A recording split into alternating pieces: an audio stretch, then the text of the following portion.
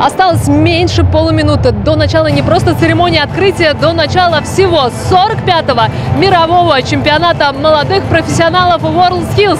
Зал практически полностью заполнен. Это больше 40 тысяч мест, но гости все прибывают и прибывают, чтобы увидеть шоу, которое откроет настоящий праздник трудовых профессий. Поехали!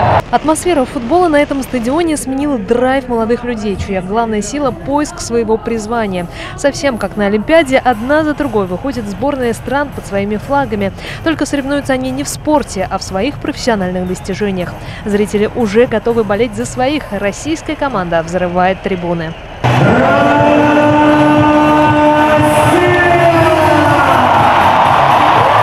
Церемония называется «Пульс». Такая ритмичная, современная и разноплановая. К участникам, организаторам и просто зрителям обращаются те, кто однажды выбрал свой путь и достиг успеха.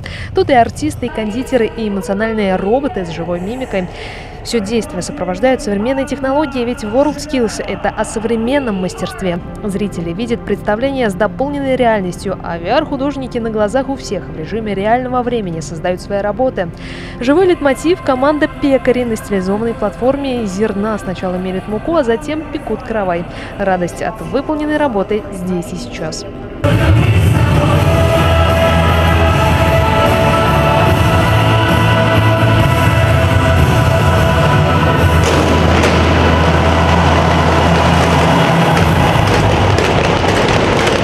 Для тех, кто соскучился по атмосфере гостеприимства и по-настоящему мировой дружбы во время чемпионата мира по футболу, WorldSkills – самое подходящее место.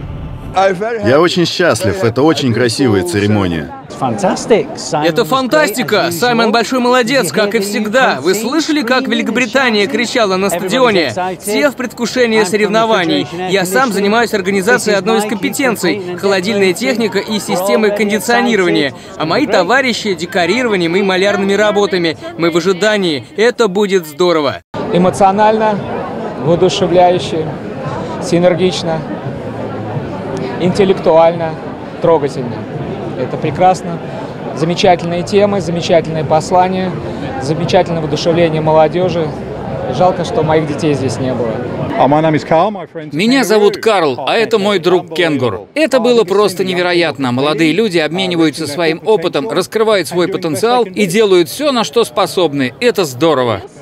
Показывать, на что они способны, молодые люди будут до следующего вторника. Увидеть, как они соревнуются, может любой желающий абсолютно бесплатно. Анастасия Зубрева, Роман Апарин. Специально для новостей губернии из Казани. Я